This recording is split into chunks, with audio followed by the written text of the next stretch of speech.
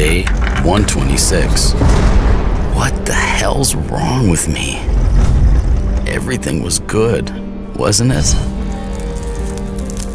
I was lying in my bed, studying the cracks on the ceiling. Back then, painting was still important to me. Now I feel no joy, no satisfaction. I feel nothing at all. Or maybe I'm just ill. I was sure I was going to die. Why do I even need a mirror? Hell did I tear up that picture? People like me should be utilized.